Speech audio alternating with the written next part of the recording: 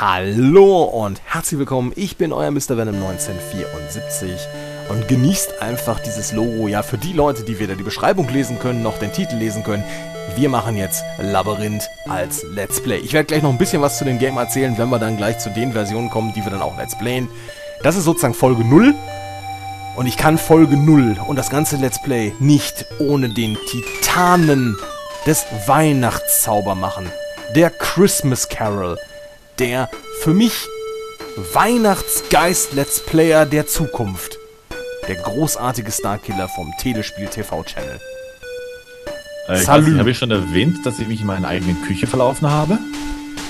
Das hat der Weihnachtsmann übrigens auch und das finden wir sehr sympathisch. Also. So, das ist Labyrinth und wer das Logo gesehen hat, weiß auch, dass es hier auf dem MSX ist.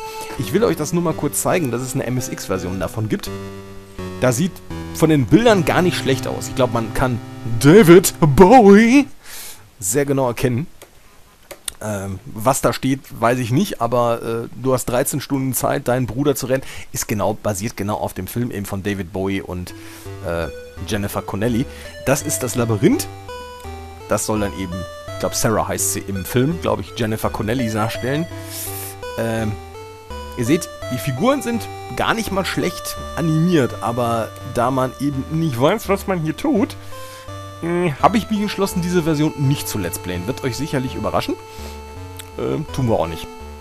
Finde ich eigentlich schade, dass du es nicht machst. Äh, ja, wenn es irgendwo eine vernünftige Fan-Übersetzung gibt, würde ich es mir dann nochmal überlegen, weil so schlecht sieht sie nicht aus, aber äh, nee. Ne, farblich ist sie definitiv ansprechend.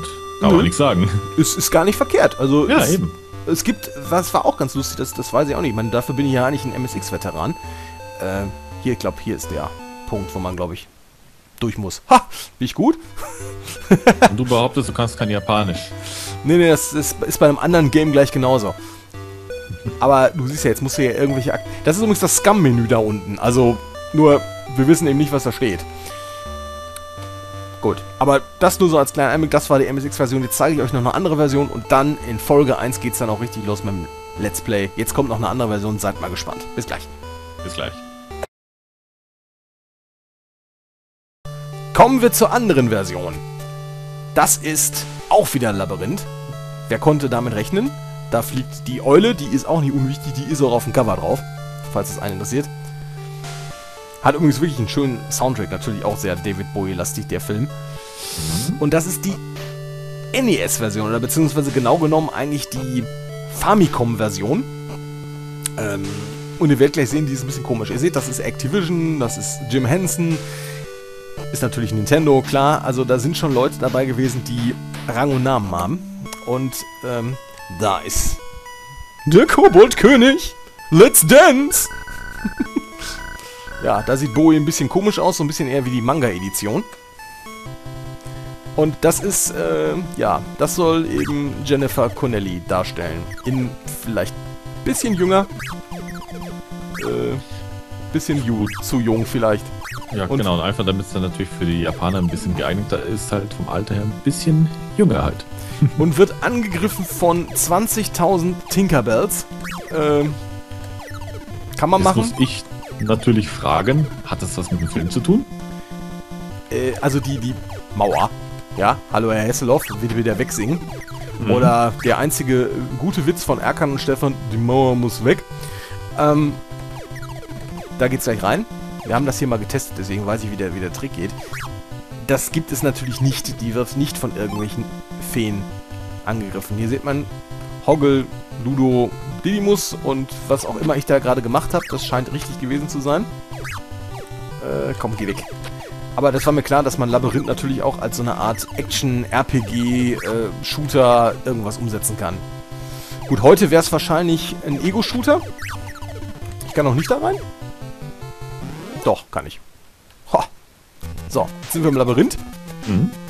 Soweit waren wir gerade auch ich nehme es vorweg, so mit dem Soundtrack äh, fängt die, äh, die Soundtrack-CD an.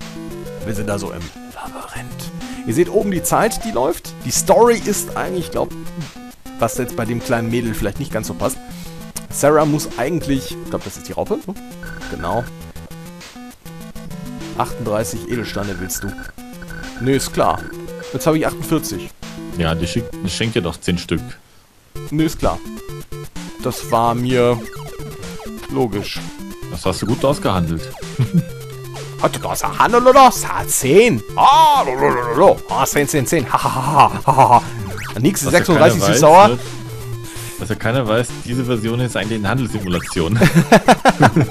Das ist eigentlich Mule Pirates und äh. Boah. Ich glaube, das sollen die. Sind das. Sind, ich glaube, das sind die Trolle, ne? Es gab auf jeden Fall auch ein äh, Viecher in dem Film, die konnten ihre Köpfe abnehmen. Typisch in einem Kinderfilm halt. ja, klar, ganz normal. Wobei diese Trolle sehen ja aus wie Yosemite Sam, aber das ist jetzt nicht so nebenbei. Ja, also im Film ging es wirklich darum, äh, sie muss da, glaube ich, also sie, glaube ich, äh, muss da irgendwie, ich glaube, das war ihr Bruder, ne? Schlag mich. Auf jeden Fall irgend, irgend so ein, so ein, so ein äh, nerviges Blag babysitten und wünscht sich dann natürlich irgendwie, äh, dass sie was anderes machen muss. Das kotzt sie an, war rebellierender Teenager, ist klar, klar, klar. Und dann kommt natürlich wie in guten Märchen die Chance, dein Wunsch wird wahr. Und dann wird halt natürlich der Bruder entführt und sie hat 13 Stunden Zeit, ihn da aus dem Labyrinth, ne, der Namensgeber, aus dem Irrgarten zurückzuholen. Und äh, David Bowie in seiner exzellenten Rolle, ich glaube, der damals vielen, vielen weiblichen Wesen, glaube ich, in diesem Film viel Freude aufgrund seiner hautengen Klamotten gemacht hat. Ähm, den gilt es eben zu besiegen, wobei er natürlich eigentlich nur das Herz von Sarah gewinnen will. Wir nennen das Stalking und vielleicht Freiheitsberaubung, aber es gibt äh, Teenage-Romance-Komödien, wo das dann als Love Story gilt. Gut, damals war sowas ja auch nicht so verruft wie heute. Nee, also gut. Du, du weißt ja, du, du kennst ja auch den Scheiß. Äh, ich bin ja da hart gesotten. Ich tue mir ja so, einen- so, so einen Scheiß tatsächlich auch an. Äh, diesen Rotz, den sich heute sozusagen die ganzen Leute sich da angucken. Und ähm, also es war damals schon extrem schießig, auch in den, äh, in den damaligen Zeiten. Aber heute hast du das Gefühl, also so auf so ein Niveau kann ich mich gar nicht runtersaufen. Gut, da können wir notfalls äh, andere Leute einfach ranlassen, die von Natur aus so ein niedriges Niveau haben. Ja, sehen Sie heute Kino-Reviews bei Köln 0815. hey Jacqueline, mach mal den Fernseher an! Was ist denn Fernseher? Ja, der da! Hä? Das ist doch der Klaus! Ja, mach den Klaus an!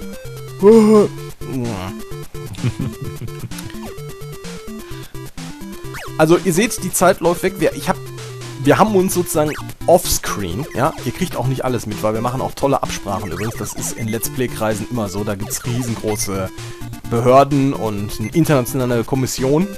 Geht ja alles nicht so frei, wie ihr euch das vorstellt, immer.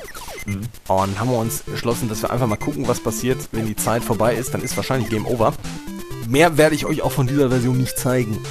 Weil die hat nicht so wirklich was mit dem Game zu tun, was ihr gleich sehen werdet. Ich würde sagen, diese Version ist einfach mal da, ne? Was ganz putzig ist, das kann ich gleich schon mal vorwegnehmen, für die Leute, die, oder die zwei Leute, die noch nie was von Labyrinth gehört haben. Äh, auf dem C64 haben sie es so umgesetzt, ich glaube auf dem Apple II ist das glaube ich auch so. Das fängt mit einem klassischen, für damalige Verhältnisse... Habe ich tatsächlich, bin ich tatsächlich weiter? Nö, ist klar. Okay. Ja, Ah, super. Schreibt in die Kommentare, äh, du bist ein Labyrinthgott. Schreibt es bitte richtig. Und wenn nicht, googelt vorher. Es gibt eine Autokorrektur auch bei Google. Und wenn das auch nicht funktioniert, fragt den Pädagogen eures Vertrauens. Und wenn, ihr, wenn der euch nicht weiterhilft, bleibt bei Google. Google weiß alles. Google weiß alles. Hat ja auch alle Daten von euch. Genau. Nein, also Spaß beiseite. Also die. Achso, bin ich hier richtig? Ja, ja, ja, klar, komm, komm. Möchtest du mal bitte meine Freundin sein? Ja, möchte ich.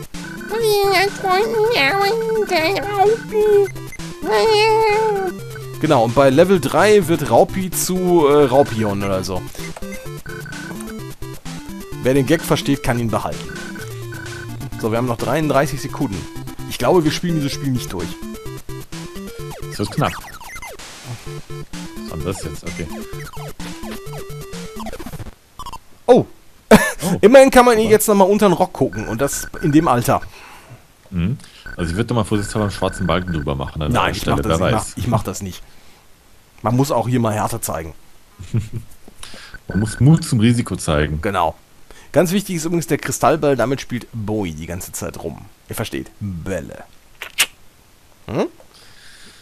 Ich gehe schon davon aus, ich gehe schon davon aus, dass es damals als Phallus-Symbol war, weil, äh, also auch wenn man irgendwie äh, Reviewer und sowas fragt, also die Weiber sind bei Bowie damals mehr als steil gegangen. Also nur mal so für euch, die äh, das wissen wollt. Ja, was ja heute natürlich nicht mehr ganz so gut klappt bei ihm. Obwohl äh, ist immer noch ein Fashion-Ikone und äh, der androgyne Superstar, der ja immerhin singen und Gitarre spielen ja kann. Das muss man ihm ja lassen. Also, Ja, da sage ich nichts dagegen. ja, dann sind wir wieder. am- Ach so, nee, das machen wir nicht. So, das war jetzt Folge 0. Äh, ich gebe es vorweg, wir machen jetzt gleich mit Folge 1 weiter. Revolutionäres Design, wir fangen mit Folge 0 an. Da weiß ich, da gibt es schon irgendwelche Playlisten, da gibt es schon wieder Leute, die Panik kriegen, Schock, auf dessen Seite nicht so unbedingt funktioniert, aber mein Gott, wir sind der Kobold-König, wir dürfen das.